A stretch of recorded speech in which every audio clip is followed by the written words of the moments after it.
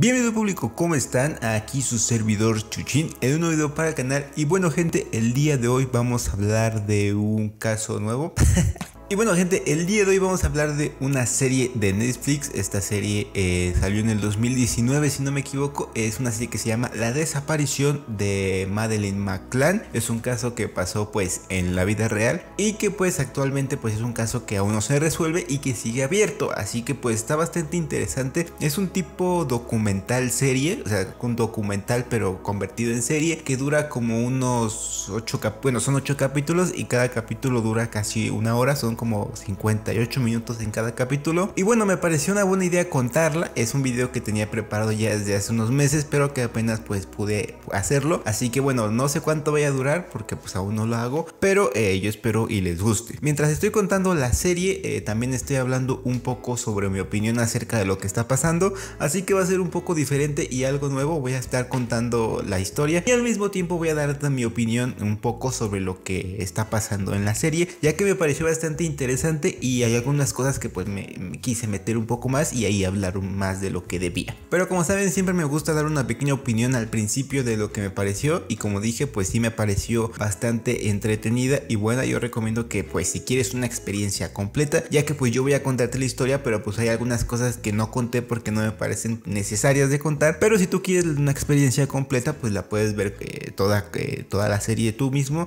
Está en Netflix o ya sabes dónde más buscarla si es que no la quieres ver ahí. Pero bueno, repito, está bastante buena y si tú tienes tiempo libre, pues la puedes ver. Así que te la recomiendo. Así que bueno gente, sin nada más que decir, te dejo con la historia.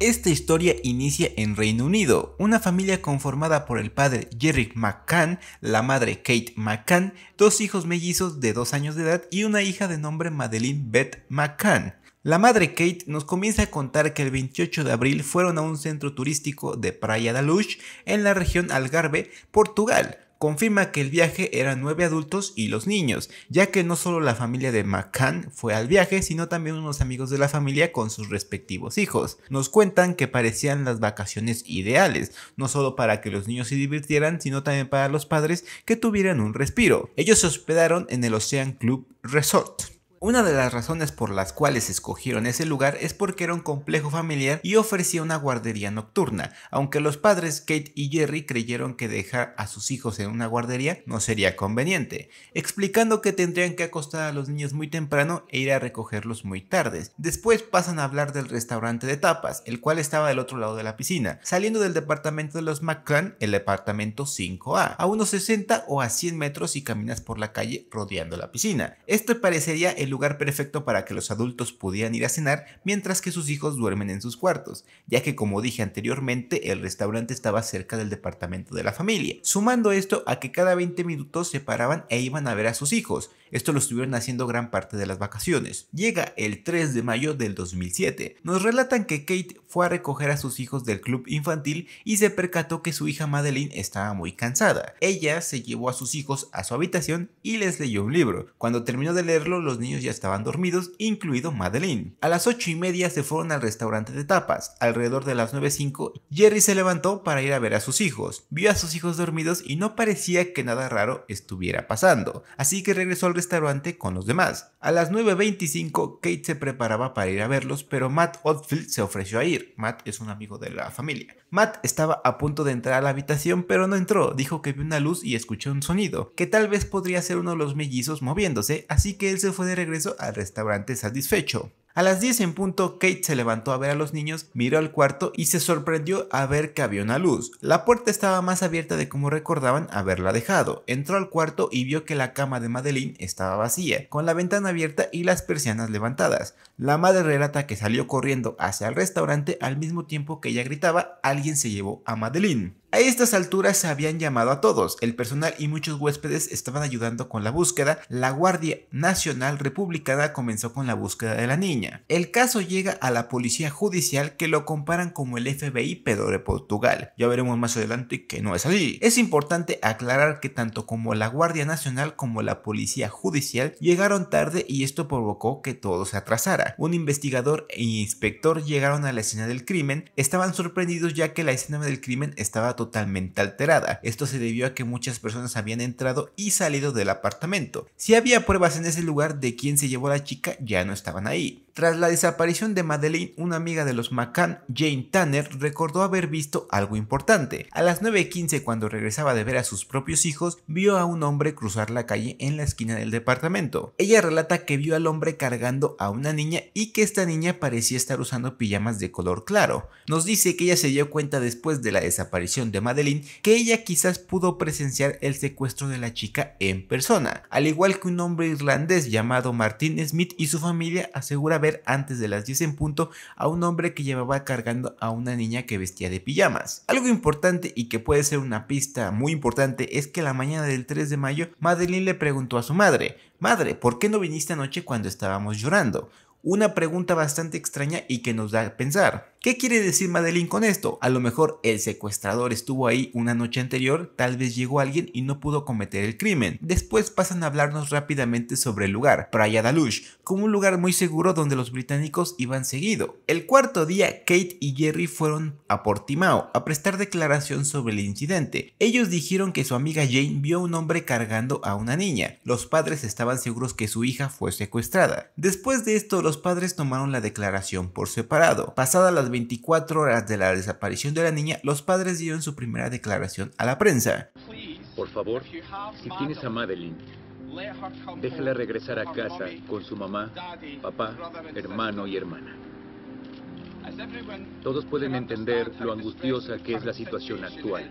Regresando con la pregunta de antes de si una persona estuvo una noche antes en su habitación para secuestrar a la niña, surgen muchas dudas. La primera es, ¿cómo es posible que una persona supiera que los niños estaban solos? Luego, sin saber en qué momento podrían llegar los padres. Sale de la habitación para caminar por una calle iluminada y no ser visto por nadie. Esto nos da como conclusión que una persona estaba vigilando el apartamento y había planeado el secuestro. Llega el tercer día de que Madeline esté desaparecida y también llega información nueva. Al parecer un empleado vio a una mujer con una niña que se parecía a Madeline comportándose de forma inusual en una tienda. Noticias, al igual que la anterior, comenzaron a surgir, lo cual complicaba mucho la búsqueda. Se hizo un retrato de la cara del sospechoso de acuerdo a lo que Jane vio esa noche, pero la descripción era demasiado vaga, simplemente mostrando un óvalo sin ojos, nariz y boca. Esto se publicó en periódicos, lo cual es estúpido, ya que no aporta nada, sumando esto a que la madre de Kate no confiaba en la policía de Portugal. Con mucha razón, ya que ellos no estaban haciendo absolutamente nada. Ahora paremos un poco y vayamos a otro caso, el criminal de Soham, ocurrido en Inglaterra. Dos niñas desaparecidas. Después de esta desaparición, una persona, el cual era el cuidador de una escuela, es entrevistado. Él asegura que no conocía a las chicas, pero fue el último que habló con ellas. El nombre de esta persona era Ian Hotley, el cual participó ofreciendo su ayuda, brindando su apoyo y hablando con los medios, para al final descubrir que él Ian había asesinado a las dos niñas y tiró sus cadáveres en una zanja. A partir de aquí, todo lo relacionado con los policías de Portugal no le tomes con mucha importancia y tampoco deberías tomarlo pues muy en serio. Esto lo cuentan ya que pasó algo similar con el caso de Madeleine. Un hombre de nombre Robert Murat es alguien que estaba ayudando a la familia. Él traducía e informaba sobre lo que había sucedido. Él sabía la hora en que desapareció, su edad y su nombre. La prensa comenzó a acercarse a Robert. Hablan de que era un tipo bastante agradable, pero que un poco extraño e inusual. Él solo estaba ahí parado hablando con la prensa y Robert era un hombre que vivía solo y pasaba mucho tiempo hablando con los periodistas. A partir de estos extraños comportamientos pusieron un equipo de vigilancia siguiendo a Robert. Grabaron sus llamadas y escanearon la casa de Robert con una especie de radar para poder determinar cuántas personas había dentro. Robert nos cuenta cómo la policía lo engañó diciendo que lo necesitaban y en cuanto salió de la casa allanaron su casa. La casa de Robert no estaba lejos del apartamento de la familia Mac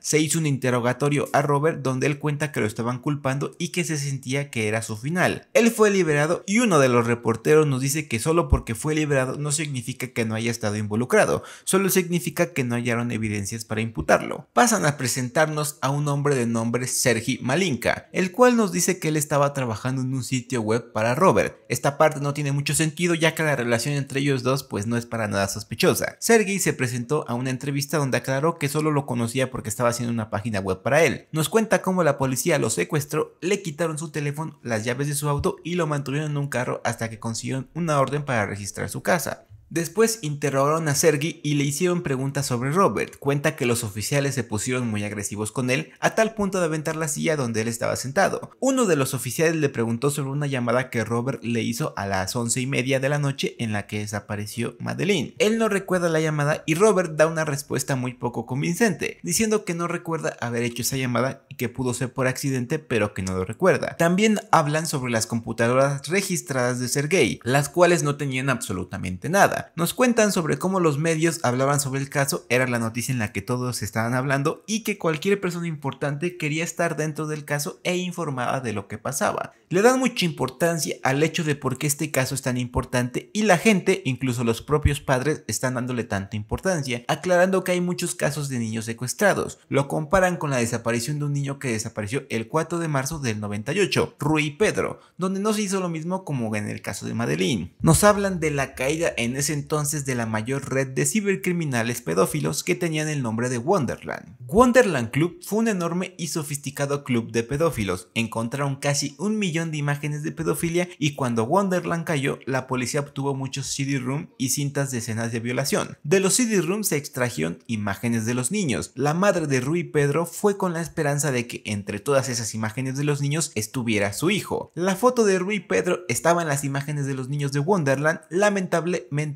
él no estaba físicamente y aún continúa desaparecido. Aseguran que el dinero que la policía de Portugal gastó en la búsqueda de estos niños desaparecidos de Wonderland no es ni el 1% de lo que se gastaron con Madeline. Regresando con la búsqueda de Madeline, para esto recordar que han pasado ya más de 30 días de su desaparición. Nos cuentan de una gasolinera en Marrakech, donde una pareja asegura que vio una niña rubia con un hombre. Escucharon que la niña dijo, ya puedo ver a mami. Hasta aquí podemos decir que tal vez no tiene nada que ver y que solo una niña rubia que estaba con su padre y que quería ver a su madre. Lo sorprendente viene cuando esta pareja regresó a casa, vio en las noticias la desaparición de Madeline y mostraron una foto de la niña. La mujer asegura que esa niña fue la que vio en la gasolinera pasan a hablarnos sobre un artículo publicado el 3 de junio del 2007 llamado Pacto del Silencio. En este artículo se habla sobre las cosas que los padres de Madeleine y sus amigos que estuvieron en la noche de la desaparición que no eran del todo ciertas. Una de ellas decía que desde la mesa donde ellos estaban cenando tenían una vista perfecta al apartamento de sus hijos,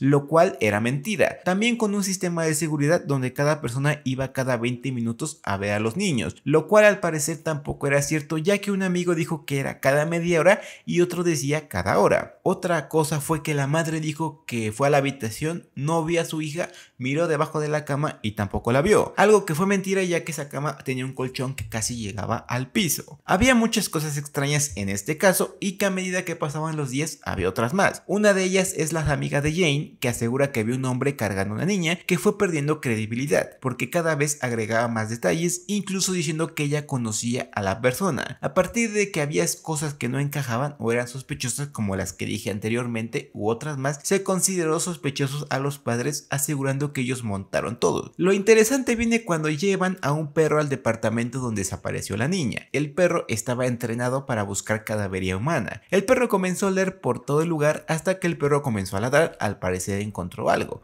Él encontró el juguete de Madeleine, el gato arrumacó. Suponen que la muñeca de la niña pudo haber estado en contacto con su cadáver y que había una persona en especial que en todos lados llevaba ese muñeco en sus manos. Esto significó para la policía una muerte accidental y que los padres habían escondido el cadáver, ya que se encontró una coincidencia del más del 80% entre las muestras de ADN de los lugares donde el perro encontró algo. Esto implicaría lo siguiente, que la niña murió accidentalmente la noche del 3 de mayo, habían escondido el cadáver de su hija y trasladaron su cadáver a otra parte. Pero claro, como te dije hace rato, la mayoría de estas cosas son ideas o teorías que la policía de Portugal se estaba haciendo, así que no lo tomes 100% en serio. Parece más un caso donde la policía quería cerrar el caso de una vez por todas, primero culpando a una persona que solo quería ayudar, luego otro hombre que no tenía nada que ver y como vieron que no tenían avances fueron directamente a por los padres. A los más de 100 días de desaparecida, los padres de Madeline fueron declarados árgidos. Eso significa que eran sospechosos formales de la investigación, algo que obviamente a los padres les molestó mucho,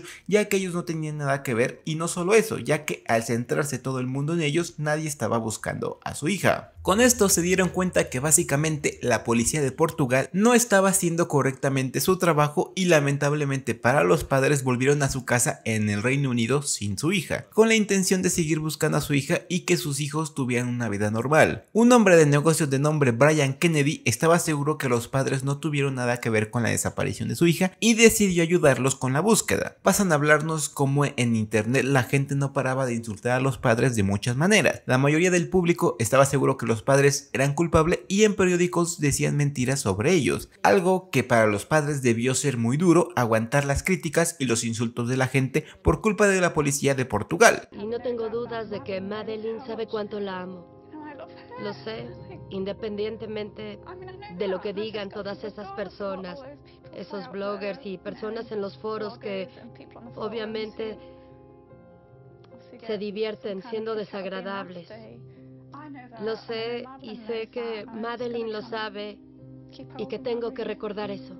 ¿Recuerdas que te dije que no tomaras muy en serio lo que te decía de la policía de Portugal? Pues las pruebas de ADN que ellos aseguraron que la sangre de Madeline estuvo en el departamento resultaron ser muestras de ADN demasiado pobres, complejas, no concluyentes e incapaces de probar algo. Gracias a estas nuevas investigaciones, Amaral, el hombre encargado de dirigir el caso de Madeline en Portugal, fue despedido. Él estaba seguro que los padres eran culpables y creía que después de ser despedido tendría mucho apoyo de la gente, pero nadie lo apoyó. Brian Fue a España y contrató a Método 3, una empresa privada de investigación. Aquí conocemos a Julián Peribáñez, un investigador privado de Método 3. Él regresa con la mujer Jane que vio a un hombre cargando a la niña. Así que regresaron a hablar con ella y hicieron un dibujo de la persona que Jane vio. Como recordemos, la policía de Portugal hizo un dibujo ridículo que no ayudaba en nada. Nos pasan a hablar del único caso similar al de Madeleine que ocurrió cerca de Praia da Luz. Ocurrió en el 2004 donde una niña de nombre Joana Cipriano desapareció. La niña vivía con su madre y su tío. La madre estuvo dando entrevistas asegurando que no sabía dónde estaba su hijo y que probablemente la habían secuestrado. En una semana la la policía de Portugal cerró el caso.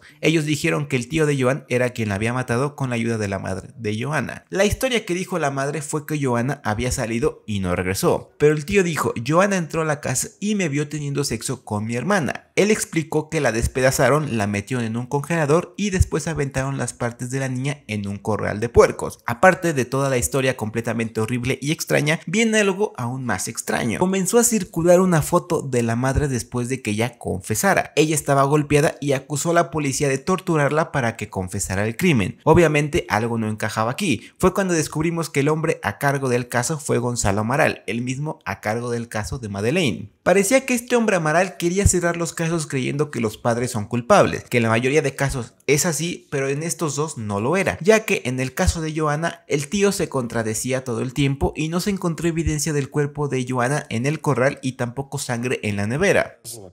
¿Y cómo podemos creer que una mujer sin educación que fue golpeada por la policía judicial confesó y esto fue comprobado? No fue comprobado. Lo fue, lo fue, Gonzalo. Pasan a contarnos sobre algo ocurrido antes de la desaparición de Madeline en Praia da Luz. Una mujer, Gail Cooper, recibió una visita en su puerta que le provocó mucha desconfianza. Un hombre que dijo que estaba recolectando dinero para un orfanato local también dijo algo sobre un accidente de tránsito donde tres niños británicos quedaron huérfanos y estaban siendo atendidos en el orfanato. Nuevamente se hace un dibujo con la declaración de esta mujer y lo comparan con el otro que se, hicieron, que se hizo, que terminan siendo bastante similares. Descubrimos también que no existe ningún orfanato cerca de Praia da Luz. A lo mejor solo era una estafa para obtener dinero o algo más. Tras un año de la desaparición de Madeleine, a los padres ya no se les considera árgidos ya que no había pruebas con ellos, por lo que muchos periódicos y noticiarios se disculparon con ellos. El ridículo de Amaral publicó un libro o quería publicar un libro para poder ganar dinero sobre la historia de Madeleine. Ya podemos imaginar de qué se trataría ese libro, pero gracias a un juicio entre los Macan y Amaral, el juez prohibió la venta y la publicación de este libro. Se cumplen los cuatro años de su desaparición donde pasaron bastantes cosas feas con la familia, tuvieron problemas con método 3, fueron estafados y ningún organismo de seguridad ni fuerza policial había estado buscando a su hija en los últimos tres años. Eran los padres quienes lo estaban haciendo solos. Tras esto se abrió una investigación de la policía metropolitana llamada Operación Grange. También se resuelve el caso de quién era la persona que vio Jane cargando a una niña. El hombre que Jane vio iba vestido con ropa de vacaciones y llevaba a su propia hija después de sacarla de la guardería. Nos cuentan de un avance en la investigación, buscan a un sospechoso sexual de cinco niñas en centros de vacacionales portugueses. Este hombre había actuado solo, atacó a las niñas en sus camas y dos de ellas fueron en Praia da.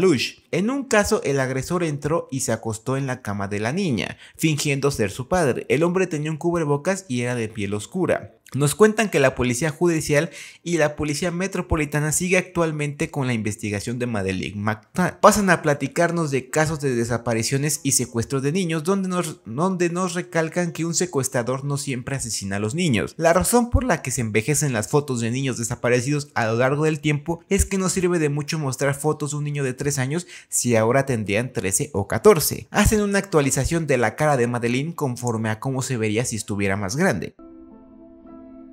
Todos los días, Kate y Jerry McCann se levantan y cuidan de sus dos hijos, Sean y Amalie.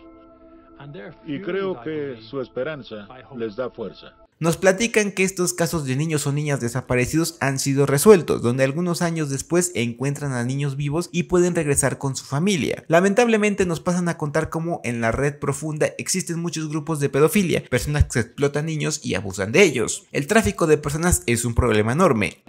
Cuando arropen a sus propios hijos en la cama por la noche, reflexionen sobre el hecho de que tienen suerte de tener un padre que los ama y se preocupa por ellos. Y cuando salgan del dormitorio, piensen en los niños que no los tienen. Piensen en esos niños que quisieran tener un padre que los cuidara, un cuidador que los ame y cuide. Piensen en los niños atrapados en estas imágenes y hagan lo que puedan para presionar e influir para que se invierta más dinero en asegurar que podamos proteger a los más vulnerables de nuestra sociedad hablan de que gracias a la investigación de Madeleine se detectó una red de pederastía por internet. En esta agencia fueron detenidos tres individuos e imputados 10 más en toda España. Hablan de que la gente por lo general piensa en pornografía infantil como una lolita, ya que en su mente no quieren hacerles pensar que los niños de 2, 3 o 4 años han sido brutalmente maltratados o violados. Nadie quiere pensar en eso porque si lo haces es difícil poder olvidarlo. No veo que estemos invirtiendo en cosas que generen un cambio. Porque si esto fuera la lucha contra el terrorismo, estaríamos declarándole la guerra a estas personas. Estaríamos usando miles de millones de libras, no millones. Nos estaríamos involucrando desde el aula hasta todos los negocios del mundo. Y estaríamos colaborando de una manera que solo lo hacemos con el antiterrorismo. 11 años y Madeline es la forma en la que termina esta serie. Nos muestran algunos números y correos que podemos usar si tenemos información sobre Madeline. A pesar del mal y del dolor que hemos sufrido, hemos sido muy afortunados de ser testigos y de haber experimentado la bondad y la caridad en gran abundancia durante este largo y difícil periodo de tiempo robado. Gracias por todo.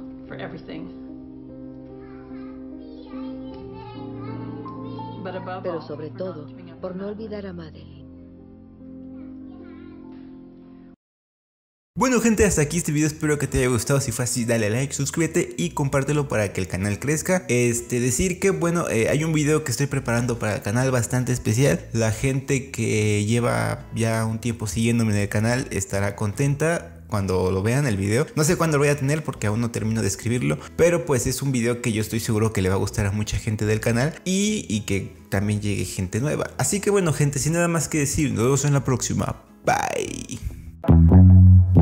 thank you